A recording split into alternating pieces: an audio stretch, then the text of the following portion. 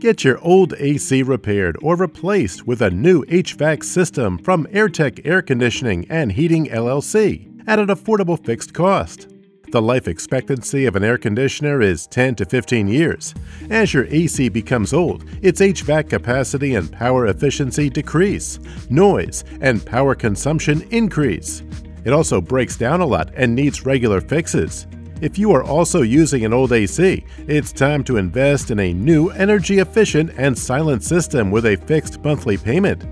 Airtech Air Conditioning and Heating LLC provides you with residential and commercial AC installation, regular inspection, maintenance, and repair services.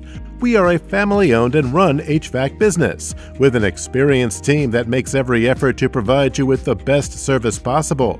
Call us today at 702 803 3754 or visit our website to know more.